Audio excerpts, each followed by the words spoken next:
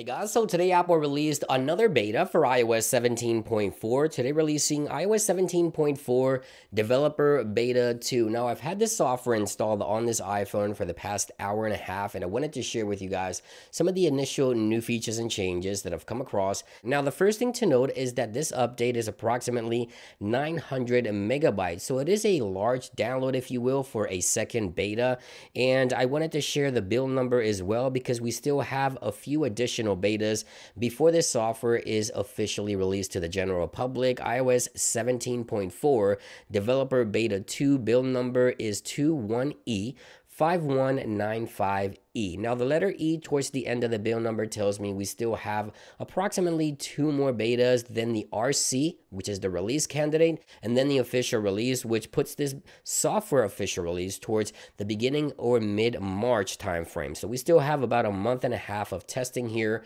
for iOS 17.4. Now, aside from iOS 17.4 developer beta 2, by the way, public beta testers, you'll most likely see this within the next 24 hours.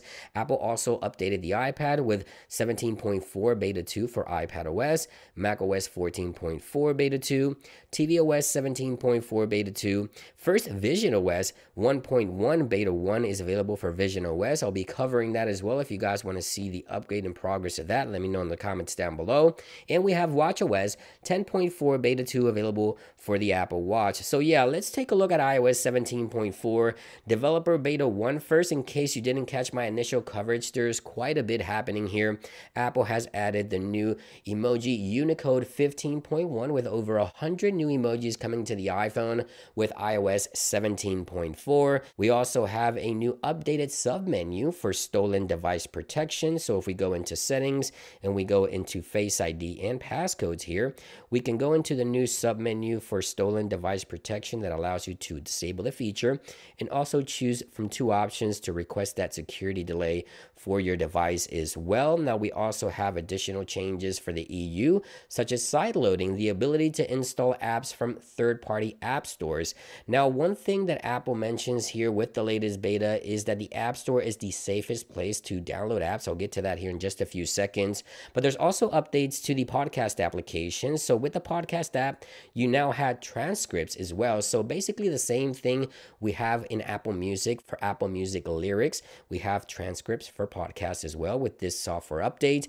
We also have SharePlay has been expanded to support HomePod OS and tvOS as well. So you'll now be able to use that with HomePod and the Apple TV. We also have a slight tweak to the outgoing call UI or the call UI menu, which the buttons look a little more transparent with iOS 17.4.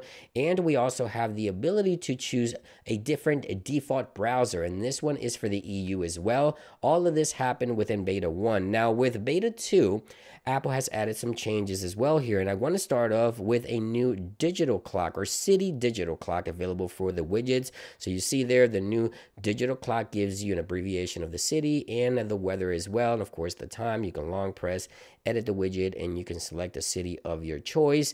Now, Apple already offers a digital clock, by the way, it is available under the clocks option here, and this one does not contain the city information, but the new one does contain the city information, and it is also available for standby. So if you use standby and you're using this new digital clock right here, you'll be able to use that within standby mode as well. Now, something else that's new, as I mentioned, the App Store splash screen here, where Apple telling users that the App Store is the safest and most trusted place to discover amazing apps and games and so forth. Keep in mind that Apple will be bringing side loading to the EU. So this splash screen here, I think, is a direct answer to those that are asking, is it safe to download apps from outside of the App Store? Apple just wants to tell users, hey, the App Store is still the safest place.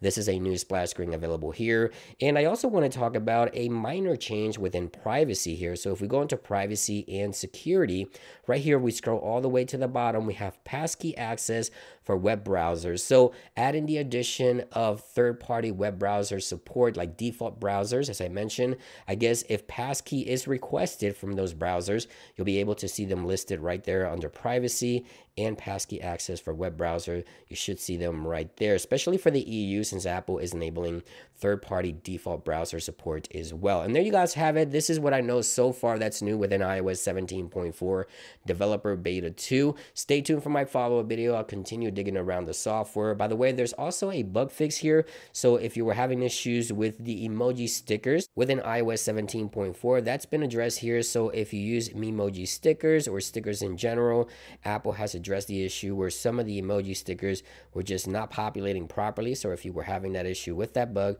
iOS 17.4 Developer Beta 2 has addressed that as well. Thank you for watching. I hope you guys enjoy the video. Stay tuned for more, and I'll see you guys on the next one. Peace.